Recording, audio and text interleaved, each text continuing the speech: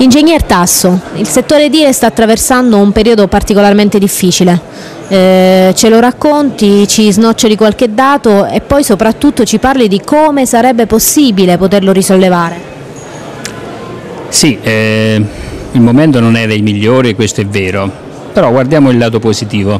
Sicuramente possiamo dire che oggi è il miglior momento per acquistare casa, per esempio e quindi siccome è vero pure che mh, dei risparmi ci sono e il, la casa resta sempre il sogno degli italiani, non a caso gli italiani diciamo, sono quelli che posseggono almeno l'80% in proprietà le abitazioni, per chi soprattutto giovani eccetera, devono coronare o formare una famiglia eccetera, il miglior momento in assoluto, un momento storico sicuramente è questo, che i prodotti ormai sono di qualità e, e,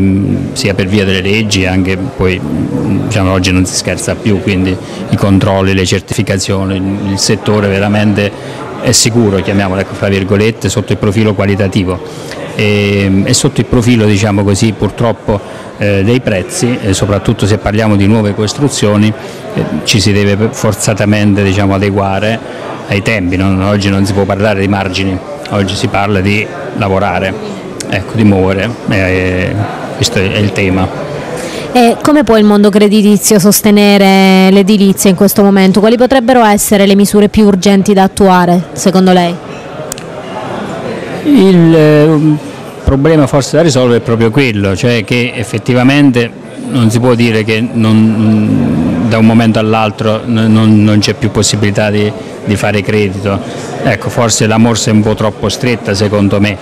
e in effetti vediamo che aiutando i clienti, cercando alternative, perché chiaro il cliente magari parla con un solo istituto e, no, e trova la porta chiusa, però effettivamente bisogna dire che certo non è come prima, ma ci sono anche diversi istituti che invece finanziano, eh, valutano correttamente e attentamente cose che facciamo già prima noi, e uno per la convenienza dei prezzi, due perché ovviamente ci sono anche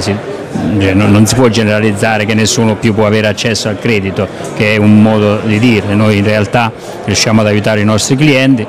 mi, mi sentirei di poter chiedere al sistema creditizio ecco, forse un minimo di fiducia in più, soprattutto a volte sui giovani, anche con le dovute garanzie,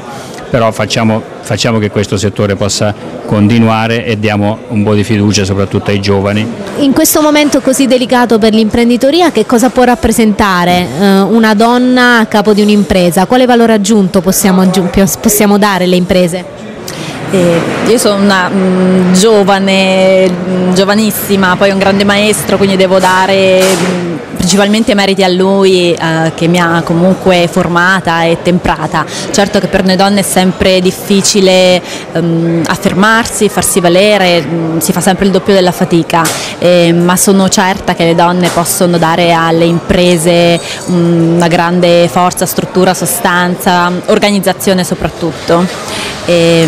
nonché la determinazione che non è inferiore rispetto a quella degli uomini, però ovviamente ci si impiega un pochino più di tempo. Ecco, allora parliamo degli ostacoli, quali sono a suo avviso gli ostacoli maggiori che incontra una donna nel corso della propria carriera? Sicuramente la diffidenza iniziale eh, perché mh, la maggior parte delle imprese sono eh, molto maschili obiettivamente, quindi dopo questo impatto bisogna farsi ehm, valere e mh, far scoprire le proprie qualità nello specifico settore dove dobbiamo essere eh, sempre molto mh, preparate e professionali. E, secondo me sono qualità che rispecchiano tutte uh, le persone che si impegnano e in particolare le donne che hanno uh, le capacità adeguate nello, nel settore che le riguarda. Quindi ci sono delle piccole barriere all'ingresso diciamo, che poi vanno superate. Eh, allora, secondo meeting Fare Impresa, eh, lei ha ricevuto come premio l'Aquila Reale, è un momento importante soprattutto da condividere con altri imprenditori per fare conoscenza, per stringere dei rapporti di business. Ma cosa può rappresentare l'Aquila Reale in questo, in questo momento?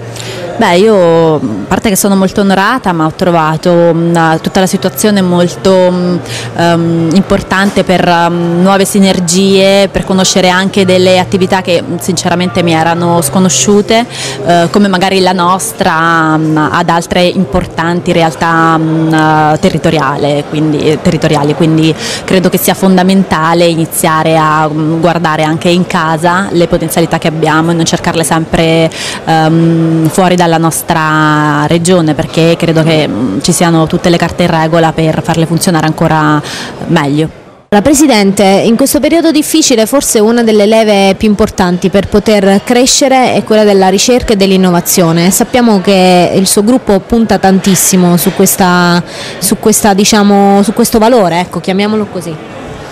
Ma non è il momento, c'è, un economista che si chiamava Schumpeter, a, mio giudizio il più grande economista del XX secolo, e lui diceva che l'impresa che non innova è un'impresa che eh, ha i giorni contati perché eh, sicuramente gestisce un pregresso e pian piano eh, non sarà più competitiva e in qualche maniera il mercato farà giustizia di essa. Quindi cioè, non è un fatto eh, dovuto alle tecnologie nuove eh, che si identificano nell'innovazione. L'innovazione è un processo eh, culturale,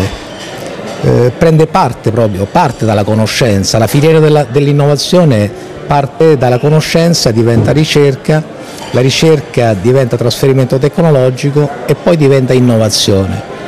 Perché se io faccio l'invenzione del secolo però nessuno la compra non è innovazione, rimane un'invenzione. Ecco, in questo discorso il nostro gruppo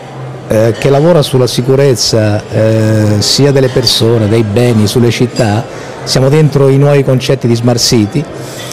ha fatto eh, dell'innovazione un fatto centrale, ma non per scelta, è per rimanere competitivi e essere impresa.